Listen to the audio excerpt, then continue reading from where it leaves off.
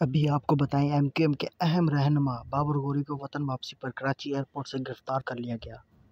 MQM के रहनमा बाबर गोरी को वतन वापसी पर कराची एयरपोर्ट से गिरफ़्तार कर लिया गया। वो करप्शन मुकदमात में नैब को मतलूब थे।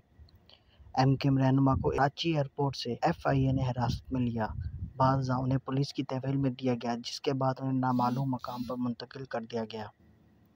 जराए का मजीद कहना है कि बाबर गोरी का नाम माजी में कई अहम केसेस में शामिल है।